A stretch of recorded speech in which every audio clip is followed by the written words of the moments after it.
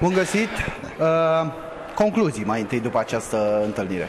Un meci frumos, cu toate că nu s-a marcat, din păcate, cred eu, din păcate pentru, și pentru noi și pentru ei. Uh, dar cred eu că publicul care a venit uh, s-a bucurat de fotbal. Am avut și noi ocazii și ei ocazii.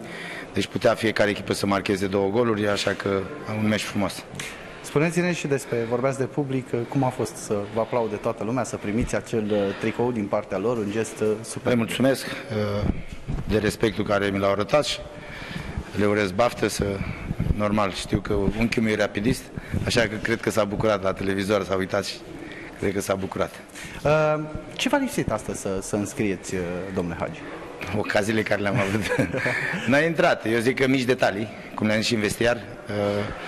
Uh, acolo trebuie să fim puțin mai atenți și restul cred că o să vină toate. Suntem la început de drum, primele meciuri, până prin și ei forma, ritmul jocului să fie mai bun și ușor, ușor o să vedem.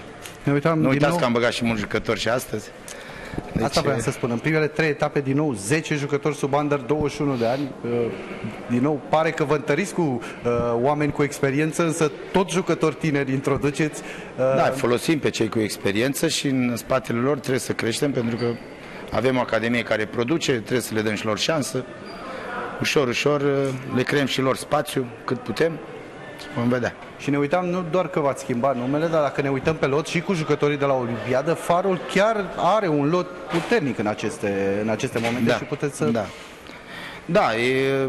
Visați mai sus. Să stăm bine. Eu zic că suntem acoperiți.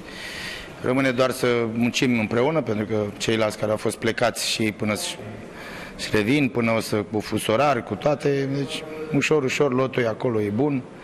Avem și copii mulți tineri care putem să-i folosim din când în când, așa că muncim. Cum v-am zis de la început, uh, suntem încă în construcție, vrem să construim o echipă care la fel să aibă, să joace fotbal acela care erați obișnuiți, care să aibă personalitate, să dictăm ritmul jocului noi.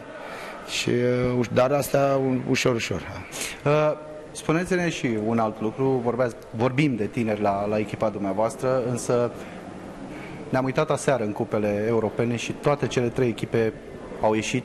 Uh, cum a fost pentru dumneavoastră sau ce trăire ați avut uh, ca fost mare fotbalist? Eu nu pot să am altă trăire decât uh, cum au toate trăirile toți, toți românii, care cred că suferim cu toții, nu ne convine la nimeni. Din păcate, asta e realitatea, trebuie să o analizăm, să o judecăm bine și să vedem ce trebuie să facem, să, să schimbăm ceva, pentru că nu e bine, nu e bine. Ce, din păcate, uh, uh, au avut și ghinion, dar din păcate uh, aceasta e realitatea și trebuie să reflectăm. E probabil uh, un moment în care trebuie să reflectăm foarte serios ce, ce vom face de acum în următorii 10 ani. Că să, de azi pe mâine, cred că ne-am săturat să tot vorbim de azi pe mâine. Ce facem? Unde e proiectul? Care sunt lucrurile? Ca să și unde e proiectul? Să, să deveniți noi competitivi. Proiectul trebuie să fie național. România trebuie să creeze un proiect național la nivelul cel mai înalt. Pentru, pentru că noi toate cluburile, Divizia A și Divizia B și toate academiile muncim pentru echipa națională.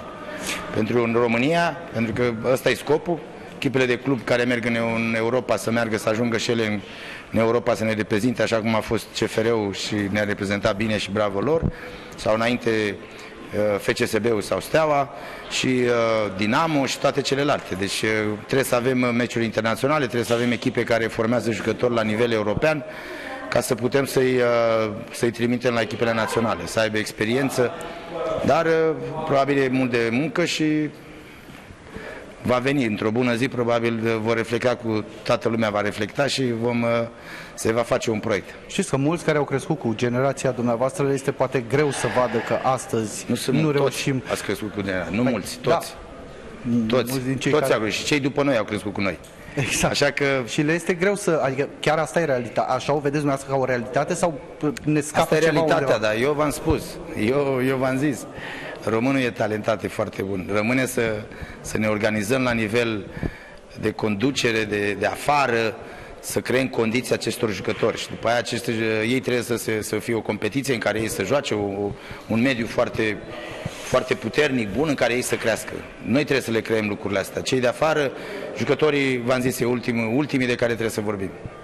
Mulțumim tare mult!